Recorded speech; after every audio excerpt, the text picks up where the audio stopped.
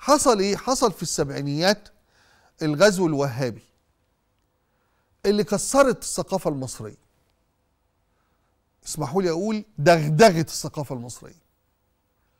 متمولة بقى ومنظمة وراها بقى يعني آه، سياسة على فلوس بالجنون على خونة. يعني تماما الناس اللي هم التيارات الإسلامية اللي ما بتعتقدش إن مصر وطن بتعتقد إن مصر قطعة أرض. وحصل تقريبا محاولة لمسح الدماغ المصرية كادت أن تنجح خلال نصف قرن. بإهمال من الدولة بتجاهل من الدولة بتواطؤ من الدولة بخيابة من الدولة كل ده حصل. وإذا بينا مجتمعنا يتحول إلى مجتمع سلفي. فعمل إيه فيك؟ عمل فيه إيه؟ كسر الثقافة بتاعك قوتك الأساسية اللي عندك.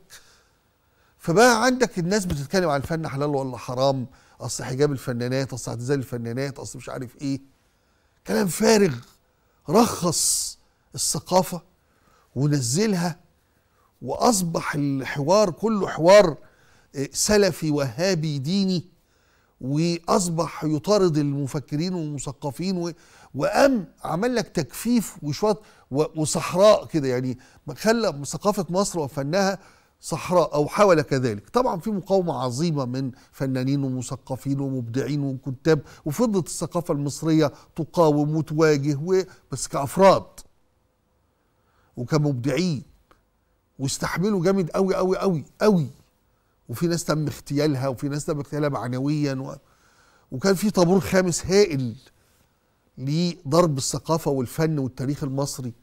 وقام جاي بقى شغالين عليك الشيوخ بدقون دول وال... والأرزقية اللي أنتم بتشوفوهم على فكرة اصله الحضارة المصرية القديمة حضارة الفراعنة ويلحق الفراعنة الكفره الوثنيين ومش عارف إيه عشان يكرهك ويسمم لك تاريخك.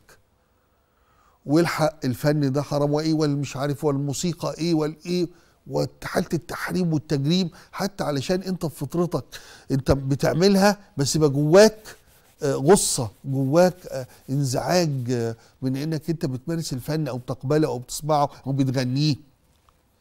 حتى الفنانين المصريين تم ضربهم في الصميم.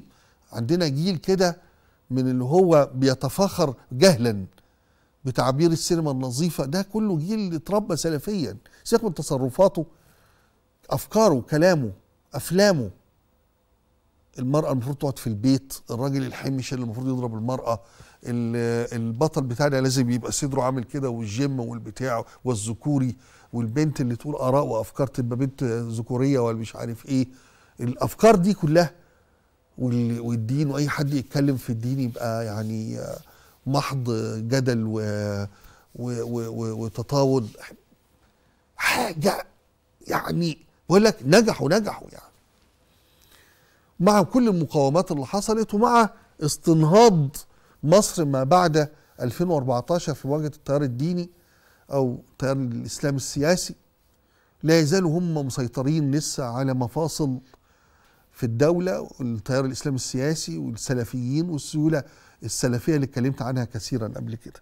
إن الناس بتقول كلام سلفي وكلام إخواني رغم إنهم بيدعوا إنهم ضد الإخوان وجايز هم ضد الإخوان كجماعة. انهم بيقولوا نفس أفكارهم.